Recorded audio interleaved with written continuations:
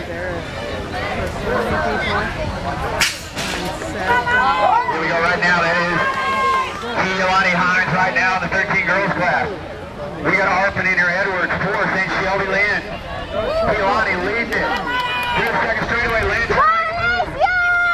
You got team colors on a one bike. That's three fourths. Right now it's Keelani roll. Setting up the rhythm section. Now get your rider. Here comes the one bike. race right now. She hang on? That is Keelani Hines. Put the pedals down. Now you played in your lead. You got the one light.